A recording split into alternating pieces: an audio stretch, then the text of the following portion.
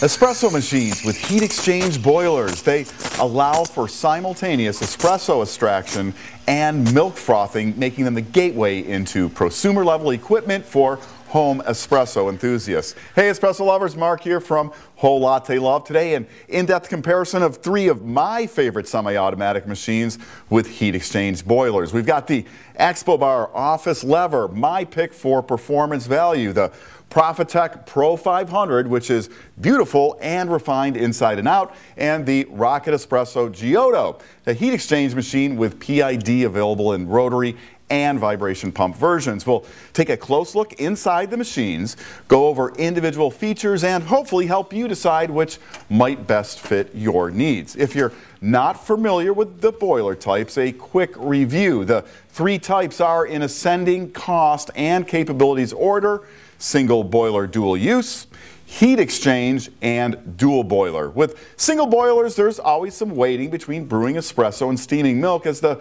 boiler has to be at one temperature for espresso and then heat up to produce steam. With a heat exchange boiler, there's no waiting. Steam is always available and lower temperature water for brewing comes from an isolated section within the boiler.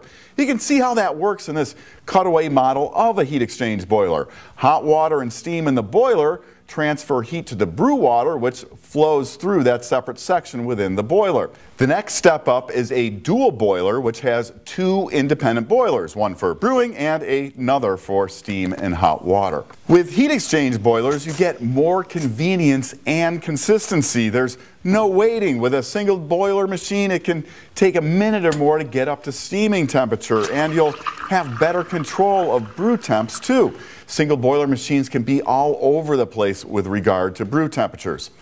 The machines we'll look at have a wide price and feature range. Some basics they have in common all have an E61 thermosiphon brew group. Using thermodynamics, hot water from the boiler constantly circulates through the group to improve temperature stability. All have dual gauges. One shows boiler pressure and one displays brew pressure. And all have no burn wands on articulating connections for dispensing water and steaming milk. So what's different? Well, let's start with the Expobar office lever. Again, my pick for best value in a heat exchange machine. If you read some owner reviews, common comments are things like best build quality for the price and for the money, this machine is hard to beat. And that's really true. There are no other heat exchange machines of this quality near this price. The lever is equipped with a 1.5 liter copper boiler fed by a 2.75 liter water reservoir. There is a plus model which connects directly to household plumbing for a never-ending water supply so you won't have to fill a reservoir. A vibration pump moves water and brew pressure is adjustable via the OPV, which is accessible behind the drip tray. Like all Expobar machines, the office lever has a custom pre-infusion chamber milled into the E61 group behind the shower screen. As an extraction starts, some water drops onto the coffee as that chamber fills, and with that extra space, pressure builds more slowly than on a standard E61. The Pre-wetting and pressure ramp up acts as a type of pre-infusion which may improve extractions and help prevent channeling in the coffee puck, yielding more consistent extractions. We like more consistent extractions. And now in use, I love Expobar's angled portafilters. I find they are easier to attach, but what I really like is how the angle makes them perfectly horizontal when tamping. Now, other companies make angled portafilters, but they are almost always a few degrees off horizontal. It's a little thing, but perfect horizontal orientation helps improve tamping consistency. The frame and exterior case of the machine are nearly identical to that of Expobar's dual boiler Brewtus machines. Compared to the Profitec and the Rocket we'll look at, it's not as refined, but it is rock solid with some of the thickest gauge metal you'll find in a machine case.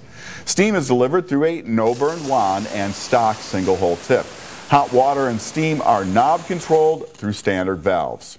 The Profitec Pro 500 steps up the exterior finish quality with more detailed craftsmanship, metal edges are rolled, and on close inspection, you notice even the drip tray's internal seams are finished to a level beyond what you'll see in most machines. A standout feature of the Profitec are the massive valves. I love the square profile and they are sprung. Very easy to operate, about a quarter turn from closed to fully open. And being sprung, they are low wear. You don't have to crank these valves down to turn them off. Inside the Pro 500, a 2-liter stainless steel boiler is the largest in this group of machines. What I appreciate inside the Profitec is simple and effective engineering with attention to detail. Touches like a braided stainless line running off the vibration pump, which helps reduce noise, a commercial grade Sirai pressure stat, copper piping with short runs.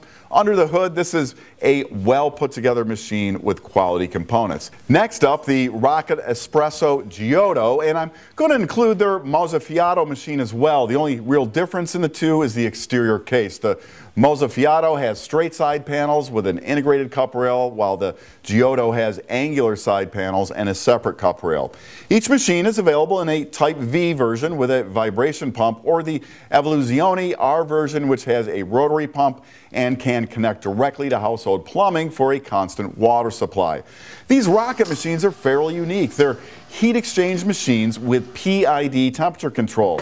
PID in a heat exchange machine, it's not very common. Now, if you're not familiar with PID, what it does is allow for very precise temperature control. That works great in dual boiler machines with a dedicated brew boiler, but it's a little trickier in a heat exchange machine because the main boiler is running significantly hotter than the brew temp. For example, to get 200 degree brew water on the Giotto, you set the PID to 248 degrees. In our testing, using a SCACE device, the rockets produced consistent brew temps. One thing to note, Rocket takes a different approach with the PID, showing the actual temperature in Fahrenheit or Celsius in the brew boiler. Most PID-equipped machines show a calculated brew temp using an offset from the in-boiler temperature. So on the Rocket, you choose your desired brew temp, then reference a chart in the manual to determine the PID setting, which will be much higher to get that brew temperature at the group head. With most heat exchange machines, you do a cooling flush prior to mounting the portafilter and pulling a shot. That's not the case with the Giotto and Mozzafiato. In our test, we got the set brew temp without a flush. Depending on how you look at it, that's either a feature or a limitation. A feature in that you're getting very accurate brew temps, a limitation in that you can't quickly try a higher brew temp by using a shorter flush. For those who've worked with other heat exchange machines, you will probably need to adjust your technique a bit for the rockets. Rocket machines go heavy on the branding from feet resembling rocket engine nozzles to badging front and back and the iconic R on the steam knob. Standard valves feed no burn steam and hot water wands. All come with a stock two-hole steam tip. The PID controller and display is hidden behind the drip tray. Casework is refined and is similar to the Profitec in quality. There are some slight differences. On the Rocket, the drip tray frame is spot welded to the main chassis. On the Profitec, no welds. It's a continuous frame front to back. Rocket machines come with an actual usable tamper, and of course it's etched with their logo. The other machines come with plastic tampers, which you'll want to replace right away. Inside the rockets, the copper boiler is 1.8 liters. The internal plumbing is a little more complex with more components and longer runs than you have in the Pro 500. In the long term, you know, I'm a, I'm a fan of the simpler engineering using fewer components. It's generally going to add up to better reliability. So, recommendations. If you're looking for value, you know, you really can't do better than the Expobar Office Lever. There's nothing comparable on a price performance basis. It's a solid machine with a long track record. The Profitec Pro 500 offers a more refined finish quality, superior valves, and the keep it simple engineering that's elegant and reliable. The Rocket Giotto and Mozzafiato add some flash with the unmistakable branding, unique PID control, and plumbable rotary pump driven options. Just be aware that those options start getting you into the price range of full-on dual boiler PID machines. Now, if you have more questions on these machines or anything coffee, use those comments and I'll be sure to get you the answers. I'm Marc. Thanks for watching and I Hope you'll subscribe and come back soon for more of the best on everything coffee brought to you by Whole Latte Love. Want to learn more? Subscribe now so you'll know about the latest videos on everything coffee from Whole Latte Love. Oh.